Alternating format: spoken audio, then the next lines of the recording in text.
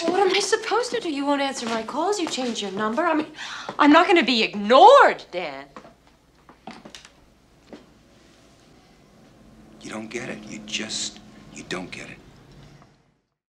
I think sometimes it feels like maybe I'm like I'm in a he- unhealthy relationship with my comic books. I remember, uh, you know, before House of X, Powers of Ten, the X Men were just su- in such a terrible place. It was like X Men Red, X Men Yellow, X Men Blue. I think they did like the X Men Black, uh, like one offs. I think they're all like one shots or something like this. And you're like, this is the best X Men you can do. And then all of a sudden we got a word we're bringing back Uncanny X Men. You know, we're we're rebooting the line.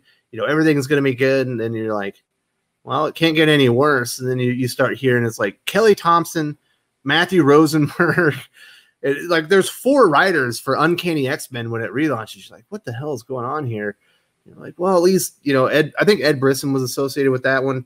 You know, at least Ed Brisson was still writing. Um, you know, I think he was finishing up Extermination at the time, and he was going to be doing like the new uh, X Force book. So at least there was some good news. And like you get in there and you start reading that Uncanny X Men, you're like, what the hell is Marvel selling me here? This is just as bad, if not worse, than what we already had. And then you, you find out it's also they could like go into this Age of X Men like event book, or not event book, like event series to where uh you know, so they did Uncanny X Men every issue for a week for 10 issues, so they could jump like fast track into this this event, and then you find out they're doing all of that just because they were knew they were rebooting X Men again in the same fucking year, man. Yeah, yeah. They Like, had. why do I keep coming back for this shit, Yule? You're a sucker. We're all suckers, I think. Uh, there's uh so when that X-Men story was going on and it was weekly, not only did it go 10 consecutive issues, but then an annual came out the very next week.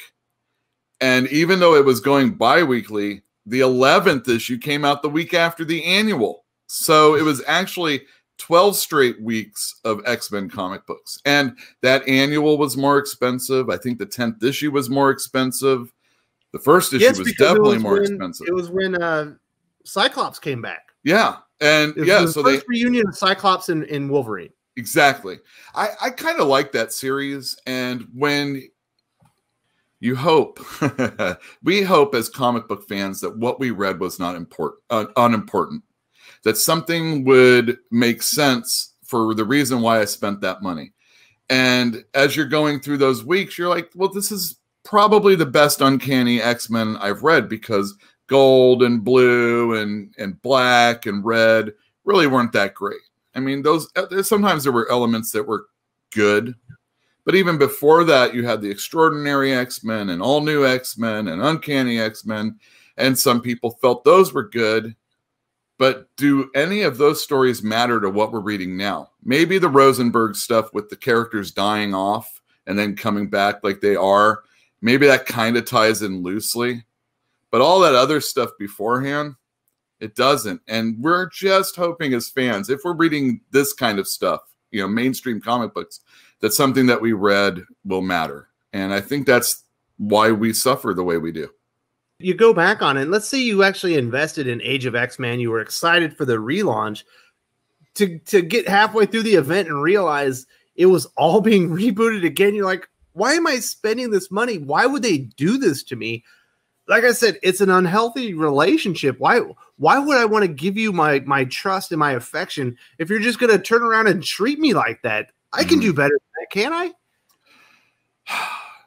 Yeah, you can. There's a lot of other companies that are out there that uh, hopefully won't disrespect you. But again, if we're talking mainstream, they uh, they are they're looking at the the bottom line. You know, they they got to make a dollar, and it felt like so that age of X Man, or even before all that stuff that led up to it in the moment they were like this is the most important x-men. This is going to be the stuff that you're going to care about going forward. All the while they knew without telling anybody that house of x and you know powers of 10 were going to be coming out and that that was going to change later. everything.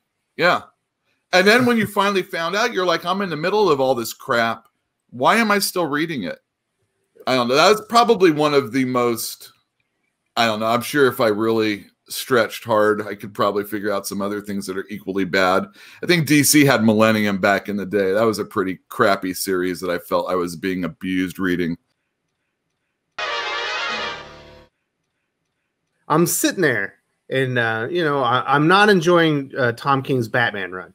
You know, it's very well documented on the channel, uh, leading right up into issue 50, and especially after issue 50, everything goes to hell. But at the same time, Nightwing had gotten hot. Like, like it was, it was a good series. They finally they had a couple of fill-in writers. There was a really great issue by Michael Moreci, and then uh, Ben Percy comes along. Oh, yeah. He takes over Nightwing, and all of a sudden it's it's like really a really great, compelling storyline. I'm like, great. Nightwing's you know my second favorite DC character. This is all going great, and then just shoot Dick off in the head. That's like a lot of head references all in one sentence. I know Ric Grayson sucks. We all know that. I can't. I can't. And then they go and have uh, Dick Grayson shot in the head in Batman and Tom King's run and ruin the character. And the, the that series has been complete crap since. And Ben Percy had to leave because he knew it was crap. Those are events that happened. We they knew that those two weren't going to get married. They knew that they were going to shoot Dick in the head and you know undo everything right now. I don't know, man what happened to the days when they would actually get together and say this is the way our universe is going to go for the for the time maybe that happened and it, again they just didn't let us know up front and i mean there's a certain amount of not wanting to know what's going to happen in you know before it happens uh, with the internet and bleeding cool and just previews telling you a lot of what's going to happen going forward it's funny how you don't know when there's going to be a new character until like a few days before the comic book comes out uh, that would be yeah, like the one time I'd actually be yeah. happy that I know that this is happening. But yeah, yeah, they they undo and and it's almost like they don't have any care for you. That's like what we're talking about. It. It's an it's an unhealthy relationship. And then finally, so I'm reading this Ric Grayson crap, and Scott Lobdell is not a bad writer. In mm-hmm. fact, I would say his flash forward was borderline amazing. His Red Hood, until he got rid of the Outlaws, was actually really good. He gets in there with Ric Grayson, and it's complete trash. I can't read it. Then they announce he's leaving it. They're bringing in Dan Jurgens. Dan Jurgens basically rescued the very end of Green Lanterns. Fine, Dan Jurgens is a good writer. I'm going to get back in there. I have my hope again. You're bringing me back in, DC. You're giving me the hope that I need that maybe Dick Grayson, Ric Grayson, whoever he is, can be salvaged. It's still completely terrible. Like, yeah. well, hmm. May, uh, there's nobody invested in this character even though he is still Dick Grayson, he's not. And everybody is just waiting for the day he goes back to being normal, I'd assume. Uh, mm-hmm. Uh, making all of this stuff that we're reading during Ric pretty much unimportant. Uh, nobody likes it, really. nobody likes it. Let's be real. Uh, I haven't read it in a while. When I, I read when he first got shot, and then he was recovering from that, and trying to figure out who he was. And then he adopted the Ric name. I was out after that. I'm like, I read enough. uh, I, I, I can't imagine like anybody issues. that loves it. Pardon me? I made it through like four issues. I dropped yeah. off. I, Jurgens came back. I went in and read uh, one issue. And the first issue issue when Jurgens was back, it was all like it was all centered around the firefighter that is now one of the Nightwings because there's four Nightwings and Ric Grayson that's like their sidekick. And and that issue was cool when it actually explained what about the the backstory of this firefighter. I was like, this is actually pretty cool. I enjoyed this. The next issue was Ric focused again, and I was like, I can't read it because it's terrible. Because mm-hmm. this isn't Dick Grayson. This is bullshit. Yeah, you know, there's I, I shouldn't say like, you know, there's a bad character. It's just when you're going in to read Nightwing, there's only one Nightwing. You know, this isn't even you know, who will don the cowl when Batman's gone? That's something that piques people's curiosity. Uh, nobody cares who else is going to be Nightwing. you know, it's Dick Grayson, this guy right here. You can have a storyline where he gets shot and doesn't remember who he is, has amnesia, and it has to work his way to getting. But this is like status quo right now. And again, nobody believes that this is going to really be the thing. And so when a new writer comes on, you're this is how they dangle that little carrot in front of us as comic fans. Hey, Dan Jurgens, this guy who did all this stuff that you remember is coming on this book. Well, we don't know if he's really on to stay. I mean, look at the Wonder Woman writers up until they get their new writer. It's like until they announce who their big writer is, you know that this person that you like, whether it's Ram V or Dan Jurgens or you know Jason Aaron, maybe this person is only going to be on this book for a certain amount of time, and there's really no reason to get invested in these stories.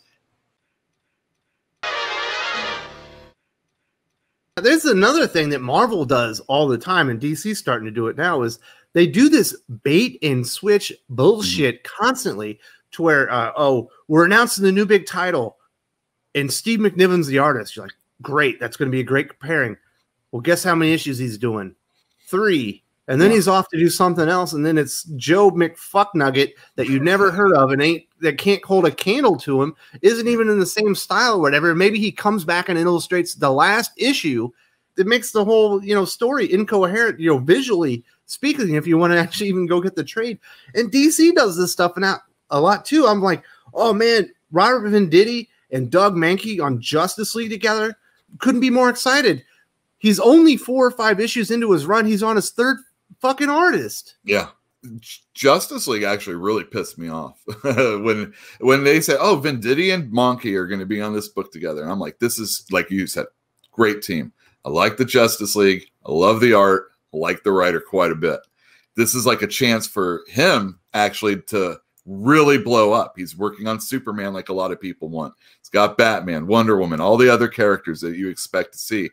And Mahnke's off what on the second issue. There's also a really good what Lopresti was doing it after that, and then like you said, Mahnke, Lopresti, Mahnke, Lopresti, and now they're on um yeah on, and, on the third art. And Venditti's not going to stay on the book. It's mm-hmm. going to be some other person. I can't remember who right now. Um, maybe somebody good, but then do I really have any hopes that they're going to stick around for a while, or the artists that they choose, or at least if it's a team of artists, can at least become that team rather than a third or fourth person. Justice League was like that also. You know, Jim Cheung, you know, you laugh when you hear that he's going to do a book because you know he only can do a few books a year. Um, maybe just put him on annuals personally. And then you have, you know, Jorge Jimenez, and I can't remember all the different illustrators that worked on that series. All very good, but not necessarily, you know, what I'm expecting. And if you can't really grab onto uh, it, I don't know. It depends on what you're doing. If it, why you're a fan. Are you a fan because you you know? There's people that only read Superman. I mean, as a, a title, they only read a title, and they don't care about who the people are that are working on it. But when you finally start paying attention to who the creators are, and then you see those bait and switches, like you say, look, I want McNiven on the book for a while. You know, come on, you know. But if mm-hmm. it's not a mini series, it's probably not going to be that way for almost anything obviously you've been uh, reading comics a lot longer than I have. You're actually in the industry. There has to be a, a time or two when you're like, what am I still doing here? Mm-hmm. Like, nope, these people do not respect me. They don't respect my time. They certainly don't respect my money. Yeah. That's where the other comic companies come in. Chip Zdarsky, can I can I just go off on a little tangent? I I think yeah. I remember us talking about it he got jobbed out when he didn't get that Fantastic Four job.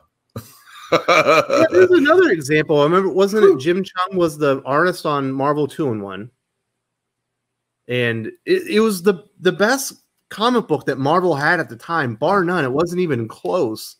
Uh, I think maybe Thanos Wins might have been finishing up or whatever, but there was a time when that was easily the best. And I think it went through four artists in 12 issues. Yeah, it, towards the end, they were just trying to chunk, you know, get those out. I think is what it was. TBD is like if it worsened to be determined as an artist is someone I've never heard of. That's not selling anything. You know, that doesn't tell me anything. Who's this person that you dug up? You know, I might as well. it's like a crowdfunding comic book from somebody, you know, some artist I don't know. You know, it's mm-hmm. the same thing. And then you think about like the creator. What what incentivizes Chip Zdarsky to go out there and write the best uh, reintroduction of the Fantastic Four into the Marvel universe? that that he can do if you're just going to give give his slot away to Slotto Octavius. Uh, Dan uh, Slott has sales records. Uh, Chip Zdarsky is still working his way up as a writer. You know, he was a he's a double threat as an artist, but he's not really you know a Marvel artist uh, per se. So he's like kind of building his career as a writer. That's probably why they didn't give him quite the Fantastic Four. Even though almost anybody that came in my store, anything I've seen like on the internet, people were like clamoring for this guy to be the guy to write the next Fantastic Four, and they didn't give that to him. And uh, again, that's pretty. That was lame, and it was the best book going on, Marvel Two-in-One. Except then there was like a, a few delays, and then the different artists, and it kind of fell away because, again, uh, the new FF was coming in, and this made the last issues of Marvel 2-in-1 not really seem that important, or actually the entirety of the series. They were looking for Reed and Sue in the beginning of that story, if I'm not mistaken. Yeah. And the very first issue of Fantastic Four, they're looking for Reed and Sue. you know, everything that was going in Marvel 2-in-1 should have led right into Fantastic Four. And they totally screwed that, screwed the pooch on that one. What should Chip Zdarsky emotionally invest in the characters that he's writing if he's not going to be rewarded when he goes out there and kicks ass, takes names, and puts out a great story? You know, they just blow through artists, and next by the end of it, you know, they weren't even really comic artists. It was just some blobs on a page with some speech Yeah. bubbles. Yeah, it was it wasn't good, unfortunately. They they didn't respect Chip Zdarsky. They didn't respect the fans. They just Yeah. wanted to get that crap out. But yeah, it's crazy Yeah. the way it feels. Like sometimes it's like, what am I still doing here? Why? Yeah. Why? do- Why do I let them do this to me? I'm better than this, Fuel.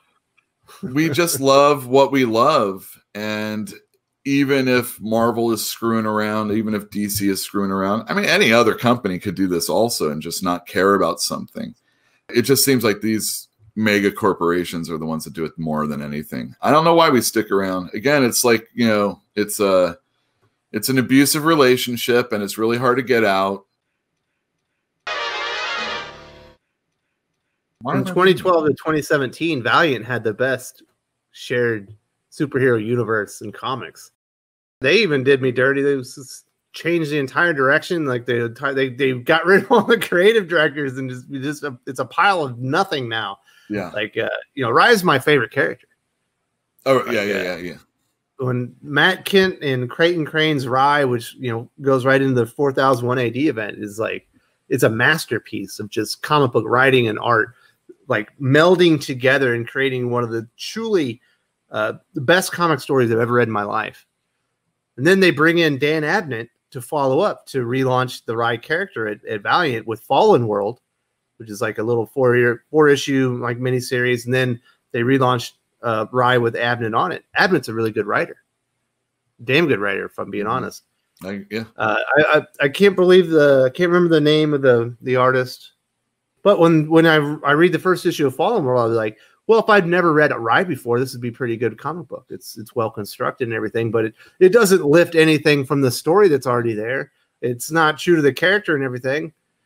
And then it, it just bled right into the new Rai series. There's there shouldn't be a comic book I'm more excited about on the market than Rai from Valiant Comics. And but you can see by the sales, they lost all of anybody that would like that character immediately jumped off when they Yeah. realized it's not the right, it's not the same character. Yeah. Uh, yeah, I hadn't read that one, but going back to Matt Kindt, I really like his work. Even his uh, creator. So this is a situation where, you know, why do I stick with this company? Well, if Matt Kindt's not there, what you might want to do is just go to whatever he's doing somewhere else. But again, if you have a connection with that company character, you're not given that, you know, you're, left out in the wind, hoping that somebody else is going to come on and respect that character or do what you want to read. You know, it's not necessarily what you want as a reader, but it's something that you want to find out, you know, what's going to happen with it.